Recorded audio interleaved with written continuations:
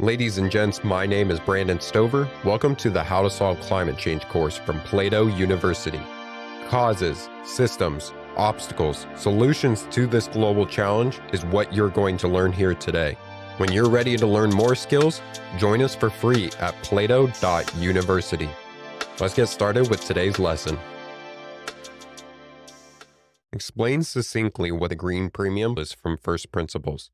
The green premium refers to the additional cost associated with choosing environmentally sustainable or low carbon alternatives over conventional, more carbon intensive options. In the context of climate change, it means that technologies, products, or practices that have lower greenhouse gas emissions or are more environmentally friendly may come at a higher price compared to their less sustainable counterparts. Why does the green premium impede us from creating solutions or overcoming climate change?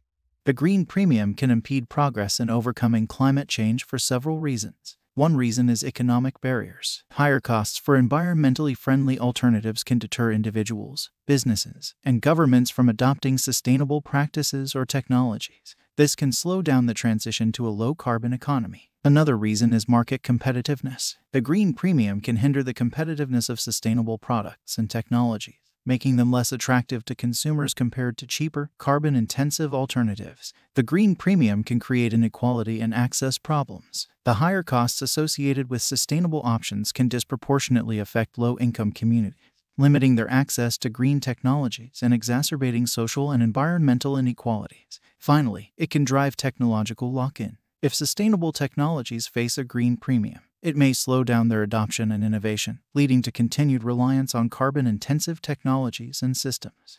Why is the green premium important to address? What's at stake if we don't address this obstacle?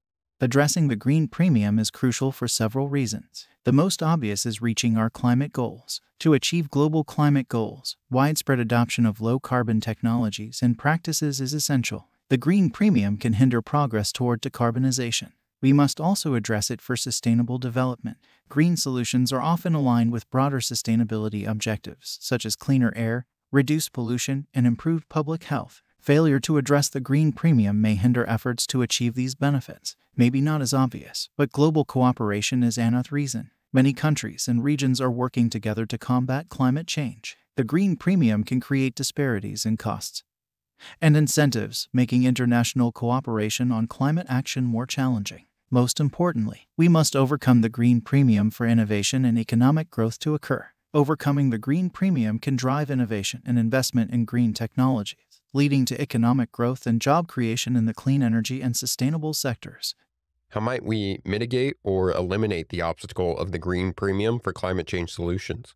Mitigating or eliminating the green premium requires a combination of policy measures, technological advancements, and societal shifts. First, think about incentives and subsidies. Governments can provide financial incentives, tax breaks, or subsidies to reduce the cost difference between sustainable and carbon intensive options, making green solutions more economically attractive. We must also tackle regulations and standards. Setting stringent environmental regulations and standards can create a level playing field, encouraging businesses to invest in greener alternatives. Proper innovation always requires research and development Investing in research and development can drive technological advancements, leading to cost reductions and increased efficiency for green technologies. What we are doing now also helps. That is public awareness and education, raising awareness about the importance of sustainability. And the benefits of green alternatives can drive consumer demand, encouraging businesses to invest in sustainable practices. Right now, you're speaking to passionate students who want to actually solve problems like these. What top three skills should they study so that they actually have the ability to do so? Passionate students seeking to address the green premium should focus on developing the following skills. Learn economics and policy analysis, understand the economic factors influencing the green premium, including cost benefit analysis and policy evaluation to propose effective measures to reduce barriers. Next, undertake some technological expertise, gain knowledge of renewable energy technologies, energy efficiency, and sustainable practices to contribute to the development and deployment of low carbon solutions. Maybe not as obvious, but gain skills in advocacy and communication. Develop effective communication and advocacy skills to raise awareness, engage stakeholders, and promote the adoption of sustainable practices and policies. To see the green premium with your own eyes, research a product or technology with a well defined green premium, such as the premium on electric vehicles versus conventional vehicles. Compare the costs and benefits of the more environmentally friendly option. Reflect on the factors contributing to the green premium and its implications for consumer choices. Thank you for taking the How to Solve Climate Change course.